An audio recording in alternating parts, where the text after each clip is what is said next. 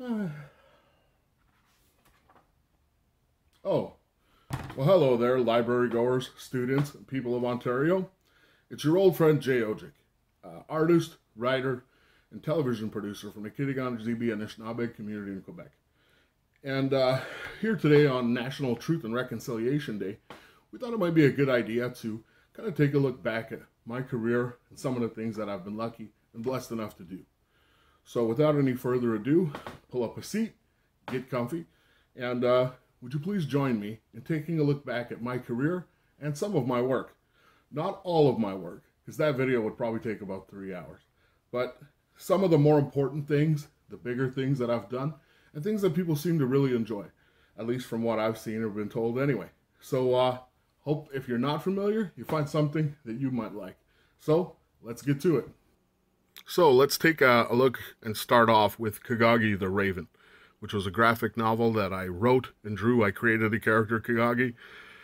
And this was published by a Canadian company called Arcana Comics. At the time, uh, Canada's largest comic book publisher, at least in terms of like volume, the number of books that they put out. I had self-published three books myself called The Raven.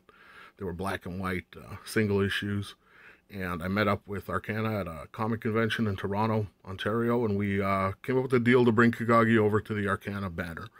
And what that brought to the table for me was the ability to distribute Kagagi far and wide to basically any comic book shop in North America that wanted to carry the title. So it was a huge jump up from where we began or where I began with Kagagi, which was self-publishing out of a basement on the res. So we went from like self-publishing and me mailing out single issues of this comic to basically being distributed across North America. As far as I'm aware, it's still the only native created native superhero book to be carried by Diamond Comics distributors and thus available uh, in every comic shop. Uh, first native comic created, superhero comic created by a native creator anyway. So it's something I'm fiercely proud of. And the book did very well, well enough, in fact, that I was fortunate enough to be able to adapt it into an animated series.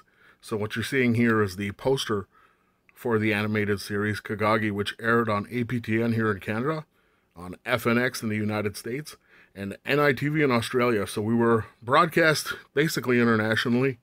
It was a half hour show with uh, language versions not only in English, but English and Algonquin. There was one completely in Anishinaabemowin and one with uh, 20% Algonquin or Anishinaabemowin. So that was something I was very, very proud of. It was cool to be able to bring uh, the world's first ever Indigenous superhero television series to life and have my own animated series. I mean, that's the dream as a kid, right? Who could have ever thought that this kid from the res who just loved drawing would someday get the chance to make his own TV show? So, very cool. And uh, if you've ever checked it out, I hope you dug it. Kagagi will always have a special place in my heart. Black Flies. Ah, yes, the book you also egomaniacally caught me reading of my own. Um, Black Flies was a really, really cool thing, uh, published by Scholastic Canada, and again, written by Robert Munsch, who is probably, I would say, the biggest name in children's book writing. And in my opinion, he's the GOAT. He's the greatest of all time. Uh, greatest children's book writer, greatest uh, storyteller for younger readers, early readers uh, that we've ever seen in the game.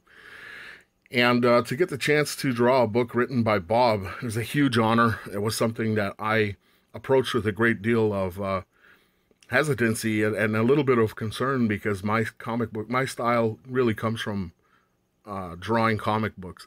And you can see a lot of the animation and American comic book influences in my art, which is different from a lot of the stuff that we've seen before with uh, Robert Munsch titles.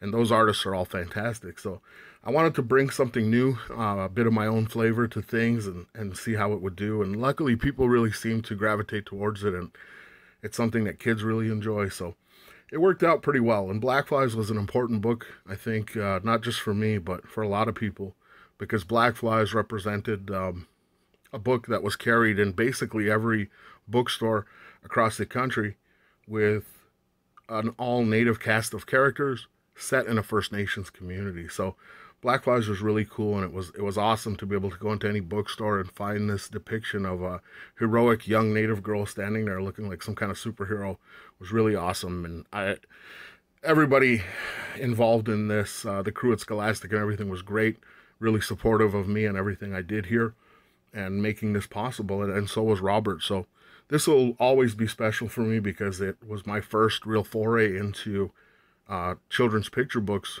coming from where I came from of comics and animation. It was uh, an entirely new industry, a new part of my career. And it's something that has really worked out well. So I'd like to thank everybody who has picked up or read a copy of Black Flies and uh, hopefully uh, we can uh, we can do something like this again in the future. There's some of the coolest stuff that I think uh, that I really enjoyed doing in this book was doing different shapes with the swarm of flies and mosquitoes, like clouds, and we see just one shot where the the swarm of black flies and mosquitoes forms a giant hand. So you can see some of my comic influences creeping through, and uh, it was a lot of fun. And I, I hope you had fun reading it. Ah, yes, Bear for Breakfast what can I say about this book? Uh, my second collaboration with Bob. Uh, another team up between Odjick and Munsch.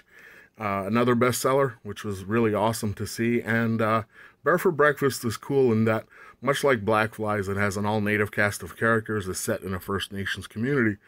But this time around, we did things a little different. And, and like I said, Scholastic has always been great about supporting me and getting behind me and believing in me.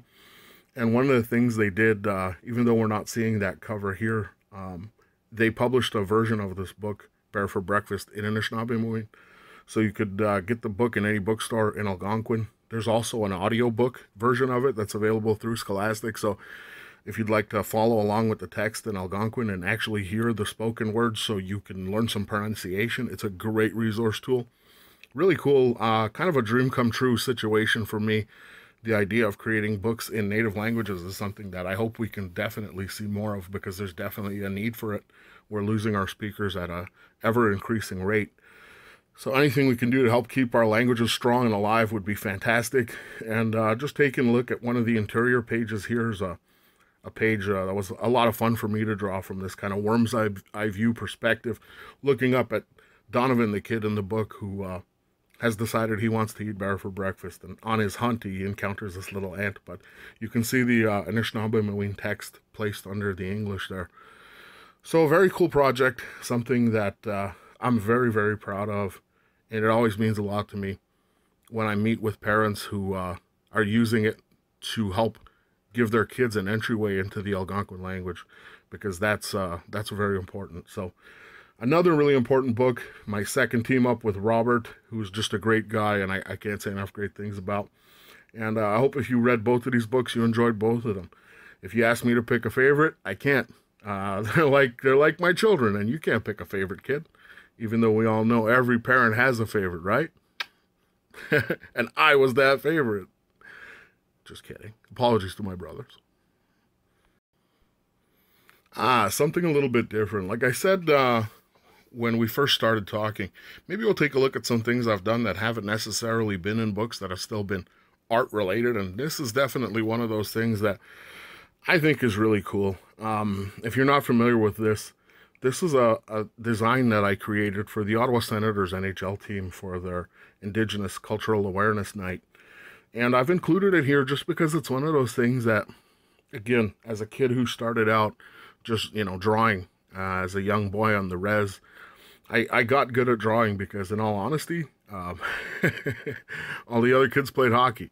And having moved to my dad's community of Kitigan from where I was born, uh, Rochester, New York, um, I didn't know how to skate very well. So I had to do something in the winters. And in those harsh winters that we get, as you know, uh, it, it, there's not a lot to do if, if, you're not great at hockey. So I developed uh, a passion and a skill at drawing, I'd like to think. And to get the chance to design a piece for an NHL team was a really big honor, especially growing up uh, a big hockey fan. And my cousin Gino played for the Vancouver Canucks, the Montreal Canadiens, the Flyers, and the New York Islanders.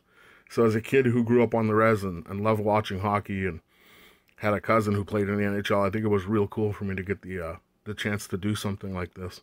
It was a real honor to, to work with the Senators on it, and I hope you dig it. I've included a graphic here that kind of explains some of the design choices and things that I implemented into the, design to give it a, a, bit of an Algonquin, authentic Algonquin flavor. And it's just real cool to see these kind of bigger companies, big organizations reaching out, getting us involved, getting authentic indigenous voices involved in creating things like this. And I think it's just great for, for everybody, especially kids who want to play in the NHL someday, or maybe kids like me who can't skate well enough to do that and instead of picking up a pencil. It just kind of lets uh, people know that we're seen, we're still here, our cultures are still vibrant and dynamic. And it was a real, real honor to do, and I hope you dig the design I did for the Sens. Go Sens, go! Apologies to all the Leafs fans out there. You know it's nothing personal. All right, so that's it for a look at my career, my work, and some of the things I've been lucky and blessed enough to do. Uh, it's been a real wild ride the past few years getting to work and everything from animation, television, to comic books, kids' book, picture books, and so many other things in between.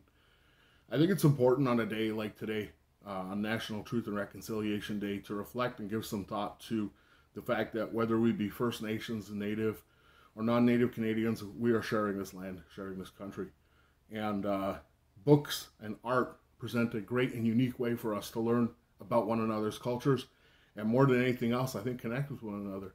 It's very important that we learn to uh, get along with, and not only get along with, but learn to respect and appreciate our neighbors. So I hope this has been a, a good time. I hope you've enjoyed hanging out with me here and learning about some of my work and some of the things that I've done. And uh, if you'd like to learn more about like native cultures, artists, creators, writers, feel free to go check out your local library and take out a book by uh, an indigenous writer or artist such as myself. Till next time, I guess, I'll catch you down the road. Miigwech. Peace.